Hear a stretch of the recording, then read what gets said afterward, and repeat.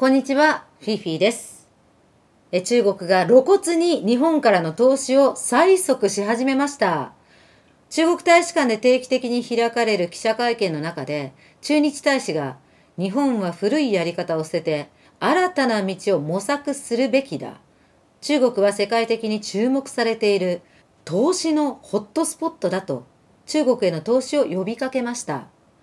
まずこれ古いやり方と言っているんですが、おそらく日本がアメリカに寄っていることを古いと言いたかったんでしょう。ただ、古いとか新しいとか関係なく、日本は魅力のある国に寄っていきます。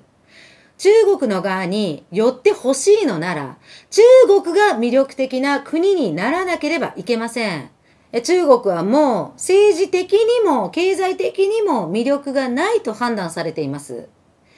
まあ投資にしても日本が中国のことを投資するほど魅力的だと感じていれば言われなくても今頃じゃんじゃん投資しています。要するにそうは思っていないから日本は投資どころか中国から資金を引き上げています。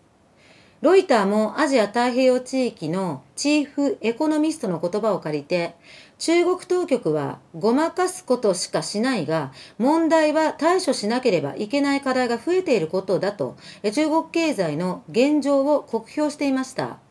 投資家はもう中国の今後に期待はしていません。中国の製造業も悪いです。3ヶ月連続で景気の悪化が続いています。これ内需が落ち込んでいて製造する必要がないからです。あとは不動産市場が低迷していることでも内需が落ち込んでいます。で、中国の不動産に関する新しい情報なんですが、破綻した中国の不動産大手であるカントリーガーデンの債権者による申し立ての件で、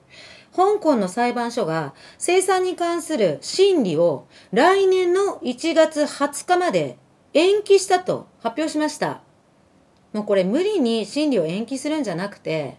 破綻しているんだからさっさと生産手続きに入って債権者に資産の分配をするべきです。カントリーガーデンほど大きな規模の企業は生産手続き自体とても時間がかかります。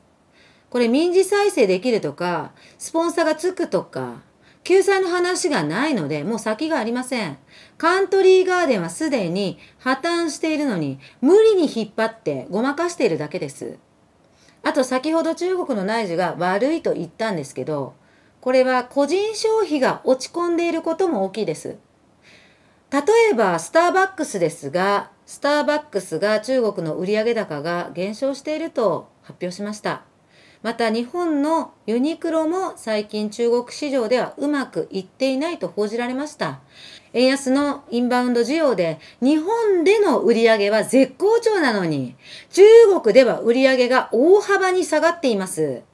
実は中国ではそれほど安いブランドではありません。だから中国の EC サイトにはユニクロにそっくりな服が売られていたりします。ユニクロの中国での事業がこの数年でうまくいかなくなった原因は消費意欲の低下やショッピングモールの集客率の低下などです。もうショッピングモールなんかもガラガラなんですね。今中国ではとんでもなく安い商品でないとなかなか売れません。それこそさっきも言ったように中国の EC サイトではユニクロもどきの商品が本家ユニクロよりもう半額近い価格で売られていてそちらが売れています。まあ、とにかく中国経済は悪いです。ただこうした経済状況や中国国内の実態を知られたくはないため中国当局は今言論統制を強化しています。メディアや影響力のあるエコノミスト、インフルエンサーに至るまで彼らの言動が中国当局によってしっかりと監視されています。発信すること自体が制限されているんですね。中国の SNS で2500万人ものフォロワーを持つ論客が中国当局によって SNS 上での発信を制限された可能性があると今話題になっています。この方はもともと中国共産党の主張に沿った発言の論客として知られていました。中国の政府系の機関紙である環球時報の前の編集長です。2021年に新聞社を引退してからというもの、ほぼ毎日中国版の SNS であるウェイボーで発信してきたんですが、先月の27日の投稿を最後に更新が途絶えているそうです。これ当局によって発信が制限されている可能性があります。はっきりとした原因は明らかにはなっていないんですけど、この方の中国共産党の経済政策についての発言が影響したのではないかと報じられています。彼は香港メディアの取材に対して何も言いたくない。どうか理解してほしいとだけ語ったそうです。まあ、こうしたニュースを聞くだけでもうなんか恐ろしくなりますよね。中国は都合の悪いことは隠蔽します。しかも個人の言論に対しても弾圧します。こんな国に誰が積極的に投資したいと思うでしょうかで、冒頭で中国の駐日大使が、え中国にどんどん投資してくれとまあ、日本に呼びかけているという話をしたんですが、中国はそもそも人民統制が厳しいし、それを外国人や外国企業に対してもするので、もう怖くて普通に付き合えません。先月末に日本の中国大使館で記者会見を開いた駐日大使はこの時も日本側に対して言論統制とも取れるような注文をつけてきました。大使は日本の報道では、中国に直接言及されていない問題でも、中国を念頭になどと表現して批判的な見方をするケースが多い。こうした類の表現を抑えるようにと日本側に求めてきました。まあ、確かにニュース記事を見ると中国を念頭に、まあ、アメリカやイギリスと連携とかそういった表現はありますが、それは連日日本の海域で軍事的な挑発行為を繰り返す中国に対応するための動きなので中国を念頭にという表現は何ら間違ってはいません。他国にまでいちいち言論統制するかのようにイチャモンをつけてくるなんてもう異常です。で、実は先月開かれた座談会で習近平国家主席が中国経済が現在いくつかの困難と問題に直面しているとそう認めていましたただ努力すれば絶対に克服できるなんてことも言っていましたまたこの時習主席は我々は中国経済がこの先も明るい見通しだということを発信していくべきなんだと話していました。つまり実際に見えている中国経済の現状には目をつむって中国に明るい未来があることを唱えていこうと習主席は呼びかけているということです。目の前の問題に取り組んでいるなら、実際もこの先が良い方に向かっていくでしょうが、問題から目を背けている限り何を言っても虚しいだけです。中国では若者を中心に3年ほど前から寝そべり族という言葉が流行しています。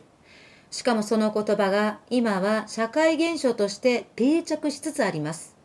中国の寝そべり族という言葉が日本でも報道され始めたのが2021年の春頃でした。もともとは中国語の横たわる、寝そべるなどの意味だったんですが、それが結婚もしない、最低限しか働かない、消費もしない、何もしないなどを表す言葉として使われ始めました。